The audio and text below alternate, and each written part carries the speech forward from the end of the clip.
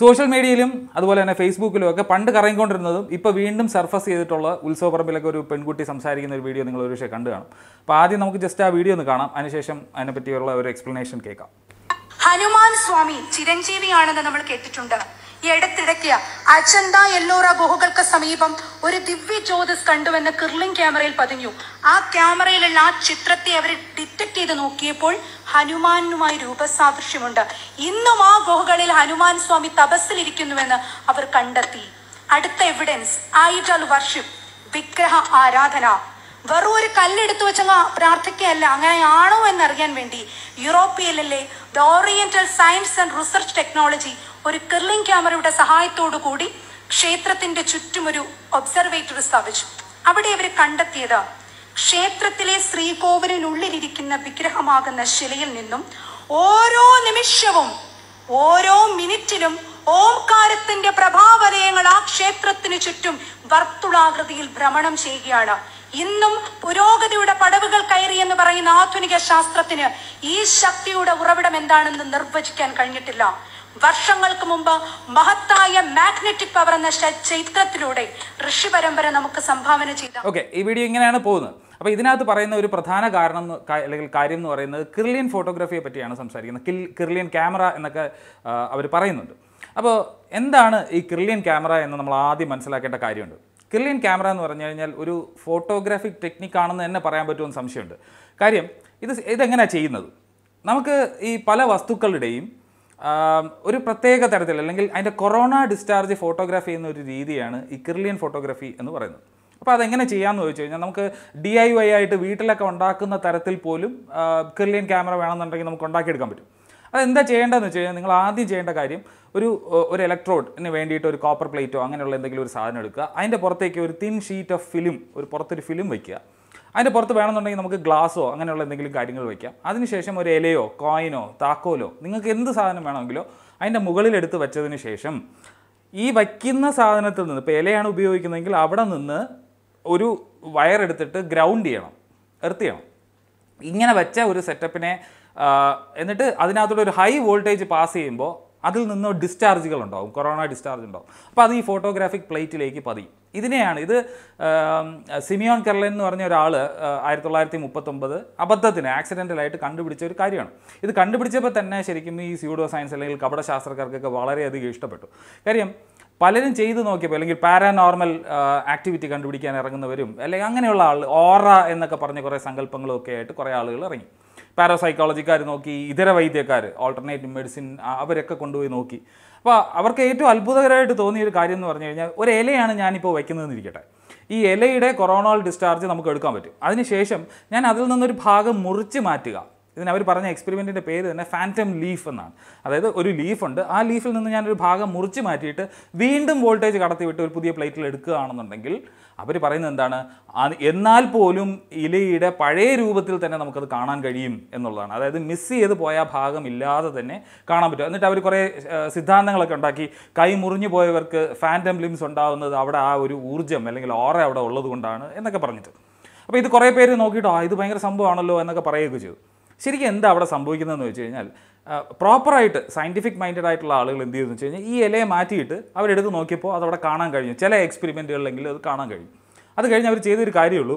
ആ ഏരിയയിൽ ഇത് ഇത് അവിടെയുള്ള മോയ്സ്ചറും അതുപോലെ തന്നെ ഈ ഇലയിൽ നിന്ന് വരുന്ന ചാർ ഇലക്ട്രി ഹൈ ഇലക്ട്രിസിറ്റി നമ്മൾ പാസ് ചെയ്യുമ്പോൾ അവിടെ നിന്ന് വരുന്ന ആ ചെറിയ സാധനങ്ങളൊക്കെ ഉണ്ടല്ലോ. ബാക്കി റെസിഡ്യൂസ് ഒക്കെ ഉണ്ടാവുമല്ലോ.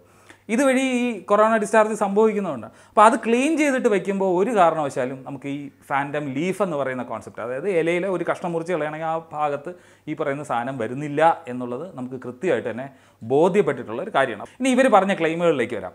ഒന്ന് ഹനുമാൻ സ്വാമി ചിരഞ്ജീവിയായ ഹനു ഹനുമാൻ സ്വാമിയുടെ കൊറോണൽ ഡിസ്ചാർജ് അല്ലെങ്കിൽ കിർലിയൻ ഫോട്ടോഗ്രാഫി എടുക്കുന്ന ഒരു കാര്യത്തെക്കുറിച്ചിട്ടാണ് അവർ സംസാരിക്കുന്നത്. ഇവിടെ എന്താ പ്രശ്നം നിങ്ങൾ ആലോചിച്ച് കഴിഞ്ഞാൽ മനസ്സിലാക്കാവുന്ന കാര്യമുള്ളൂ. ഇന്നാനിമേറ്റ് ആയിട്ടുള്ള കാര്യങ്ങളെ നമുക്കൊരു പ്ലേറ്റിൽ വെച്ചിട്ട് ഗ്രൗണ്ട് ചെയ്ത് കഴിഞ്ഞാൽ ഹൈ വോൾട്ടേജ് പാസ് ചെയ്ത് കഴിഞ്ഞാൽ അതിന് ഷോക്കൊന്നും അടിക്കില്ല കാര്യം ഇന്നാനിമേറ്റ് ആയിട്ടുള്ള സാധനം ആയതുകൊണ്ട്. പക്ഷേ ഏതെങ്കിലും ജീവനുള്ള വസ്തുവിന്റെ പടം എടുക്കുമ്പോൾ ഒന്നാമത്തെ കാര്യം നമുക്ക് മനസ്സിൽ വരുന്ന ഒരു കാര്യം സാധാരണ ക്യാമറ പോലെ നമുക്ക് കൊണ്ട് നടന്ന് പടം എടുക്കാൻ പറ്റുന്ന ഒരു സാധനമല്ല ക്രില്യൻ ഫോട്ടോഗ്രാഫി എന്ന് പറയുന്നത്. ബേസിക്കലി അത് ആ കൊറോണ ഡിസ്ചാർജിനെ ഫിലിമിലേക്ക് ക്യാപ്ചർ ചെയ്യാണ് ചെയ്യുന്നത്. അപ്പോൾ ഹനുമാൻ സ്വാമിയുടെ പടം എടുക്കണം എന്നുണ്ടെങ്കിൽ എന്ത് ചെയ്യണം? ആദ്യം ഹനുമാൻ സ്വാമിയെ നമ്മൾ ഈ പ്ലേറ്റിൽ കൊണ്ടുവന്ന് കിടത്തേണ്ടി വരും. എന്നിട്ട് ഒരു വയറിട്ട് ഗ്രൗണ്ട് ചെയ്യേണ്ടി വരും. എന്നാൽ മാത്രമേ നിങ്ങൾക്ക് ഹനുമാൻ സ്വാമിയുടെ ആകൃതിയിലുള്ള ഒരു പടം എടുക്കാൻ പറ്റുള്ളൂ. കാര്യം അങ്ങനെ അങ്ങനെയാണ് ഈ ക്രില്യൻ ഫോട്ടോഗ്രാഫി വർക്ക് ചെയ്യുന്നത്. അല്ലാതെ ഈ ലേഡി വിചാരിച്ചു വെച്ചിരിക്കുന്ന കാര്യം എന്താണ്? ഒരു ക്യാമറ കൊണ്ട് എടുക്കുമ്പോൾ അതിൽ പതിയുന്ന ഒരു സാധനമാണെന്ന്. അങ്ങനെയല്ല ക്രില്യൻ ഫോട്ടോഗ്രാഫി ചെയ്യുന്നത്. ഇനി അങ്ങനെ ചെയ്യാം. അതിന് അതിന്റെ കാര്യം ഞാൻ ഇനി അങ്ങോട്ട് പറയാം. രണ്ടാമത്തെ കാര്യത്തിൽ പറയുന്നത് യൂറോപ്പയിലെയോ യൂറോപ്പ എന്ന് പറയുന്നത് ആക്ച്വലി വ്യാഴത്തിന്റെ ഒരു ഉപഗ്രഹമാണ്. യൂറോപ്യൻ കോണ്ടിനെന്റിലാണെങ്കിലും ഈ ഓറിയന്റൽ റിസർച്ച് ടെക്നോളജി അവർ പറയുന്ന ആ ഒരു സാധനം ഇല്ല. പിന്നെ ആകപ്പാടെ ഉള്ളത് എന്താണ്? Oriental institute for science and technology എന്ന് പറഞ്ഞിട്ട് ഭോപ്പാലിൽ ഒരു എഞ്ചിനീയറിംഗ് കോളേജുണ്ട് ഈ കോളേജിന് ഇതുവരെ യു ജി സി അക്രഡിറ്റേഷൻ പോലും കിട്ടിയിട്ടില്ല. ഒരു പ്രൈവറ്റ് സ്ഥാപനമാണ് ആയിരത്തി തൊള്ളായിരത്തി തൊണ്ണൂറ്റി അഞ്ചിൽ തുടങ്ങിയ ഒരു ഇൻസ്റ്റിറ്റ്യൂട്ടാണ് ജെ ഇ എക്സാമിനേഷനൊക്കെ എഴുതി കയറാൻ പറ്റുന്ന ഒരു സ്ഥലമാണ്. അപ്പോൾ അവരിങ്ങനെ ക്രില്യൻ ഫോട്ടോഗ്രാഫിയിലോ ക്രില്യൻ ക്യാമറയിലോ ക്രില്യൻ ക്യാമറ എന്ന സാധനമില്ല. ഇങ്ങനെയുള്ള കാര്യത്തിലൊന്നും അവർ യാതൊരു റിസർച്ചും നടത്തിയിട്ടുമില്ല? അവരുടെ മേഖല ഇനി അവിടുത്തെ സ്റ്റുഡൻസ് പ്രോജക്റ്റിന്റെ ഭാഗമായിട്ടോ അല്ല കുട്ടികൾ വല്ലതും ചെയ്തിട്ടുണ്ടോ എന്ന് എനിക്കറിയില്ല. എന്തായാലും അങ്ങനെ ഗെർലിയൻ ഫോട്ടോഗ്രാഫിയിലെ എന്തെങ്കിലും ഒരു പഠനം ഇവർ നടത്തിയതായിട്ട് യാതൊരു തെളിവും നിങ്ങൾ നോക്കിക്കഴിഞ്ഞാൽ കാണാൻ പറ്റും. ഒരൊറ്റ ഒരെണ്ണം പോലും കാണില്ല എന്നുള്ളത്. മാത്രമല്ല ഈ യൂറോപ്പിലെ ഏതെങ്കിലും ഓറിയന്റൽ ഇൻസ്റ്റിറ്റ്യൂട്ട് ഫോർ റിസർച്ചോ അങ്ങനെ എന്തെങ്കിലും ഒരു സാധനം ഉണ്ടോ നോക്കി കഴിഞ്ഞാൽ നിങ്ങൾക്ക് അങ്ങനെ ഒരു സ്ഥാപനം കാണാൻ കഴിയില്ല എന്നുള്ളതാണ്. അപ്പോൾ വസ്തുതാപരമായി തന്നെ ഈ പറയുന്ന കാര്യങ്ങൾ തെറ്റാണ് എന്ന് നമുക്ക് വളരെ ഈസി ആയിട്ട് മനസ്സിലാക്കാൻ പറ്റും. ഇനി രണ്ടാമത്തെ കാര്യം ഞാൻ നേരത്തെ പറഞ്ഞു ഇനി അഥവാ ഒരു മനുഷ്യന്റെ പടമോ അല്ലെങ്കിൽ ഏതെങ്കിലും ഒരു ജീവിയുടെ പടം എടുക്കണമെന്നുണ്ടെങ്കിൽ നമുക്ക് വേറൊരു മാർഗം ഉപയോഗിക്കാം. അതായത് ഒരു ട്രാൻസ്പെറന്റ് ആയിട്ടുള്ള ഒരു ഗ്ലാസ് ഉപയോഗിച്ചതിന് ശേഷം അവിടെയും നമ്മൾ ഹൈ ഇലക്ട്രിസിറ്റി ഒരു ഷോക്ക് പാസ് ചെയ്യണം. അത് പർട്ടിക്കുലർ ഫ്രീക്വൻസിയിൽ ഇങ്ങനെ ക്രറന്ന് അടിക്കുന്നത് പോലെ ഷോക്ക് പാസ് ചെയ്തതിന് ശേഷം ആ ഡിസ്ചാർജിനെ ബൾബ് മോഡിൽ നമ്മൾ സാധാരണ ഉപയോഗിക്കുന്ന ക്യാമറകളിൽ വേണമെങ്കിൽ ക്യാപ്ചർ ചെയ്യാം. അങ്ങനെയാണെന്നുണ്ടെങ്കിൽ നമ്മൾ ഈ പ്ലേറ്റിനിടയിൽ ഈ സംഭവം വയ്ക്കണം എന്നുള്ളതാണ് ഏറ്റവും ഇമ്പോർട്ടന്റ് ആയിട്ടുള്ള കാര്യം. അപ്പോൾ അല്ലാതെ ഒരിക്കലും ക്രില്യൻ ഫോട്ടോഗ്രാഫി എടുക്കാൻ പറ്റില്ല. അപ്പോൾ അവർ പറയുന്നത് പോലെ ഇവർ സ്ഥാപിച്ച ഈ ഐഡൽ വർഷിപ്പിന് വേണ്ടിയിട്ട് ചുറ്റും ഒരു ഒബ്സർവേറ്ററി സ്ഥാപിക്കുകയും അതിൽ നിന്ന് വർത്തുളാകൃതിയിൽ പൊങ്ങി വരുന്ന കാര്യത്തെ നമുക്ക് ക്രില്യൻ ഫോട്ടോഗ്രാഫി ഉപയോഗിച്ചിട്ട് ഒരു കാരണവശാലും നമുക്കത് എടുക്കാൻ പറ്റില്ല എന്നുള്ളതാണ്. ഇനി അത് വേറെ എന്തെങ്കിലും പ്രതിഭാസമാണ് എന്നുണ്ടെങ്കിൽ അതിന് വേറെ തരം ഡിറ്റക്ടേഴ്സ് ആണ് വേണ്ടത്.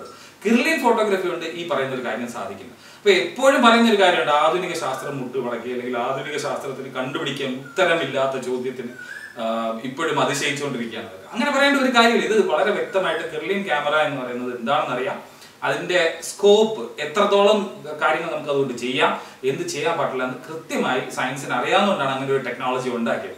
അപ്പൊ ഇപ്പോ വേണമെങ്കിൽ നിങ്ങൾക്ക് ഡി ഐ വൈ പ്രോജക്ട്സ് ആയിട്ടൊക്കെ ക്ലീൻ ഫോട്ടോഗ്രാഫി ട്രൈ ചെയ്യാവുന്നതാണ്. അതിന് വേണ്ടത് ഒരു ഷീറ്റ് പേപ്പറും അതുപോലെ ഒരു കോപ്പർ പ്ലേറ്റും ഒരു ഡിസ്ചാർജിന് വേണ്ടിയിട്ട് ഒരു ചെറിയൊരു ടെർമിനലും ഉണ്ടെന്നുണ്ടെങ്കിൽ നിങ്ങൾക്ക് അത് ചെയ്യാവുന്നുള്ളൂ പലരും സയൻസ് പ്രോജക്റ്റിന്റെ ഭാഗമായിട്ടൊക്കെ അത് ചെയ്യുന്നുണ്ട്. അപ്പൊ ഇത്രയും മാത്രമേ ഒന്ന് പറയണമെന്നുണ്ടായിരുന്നുള്ളൂ. അവർ പറഞ്ഞത് അസത്യമാണ്. ഇങ്ങനെ ഒരു സംഭവമേ ഇല്ല.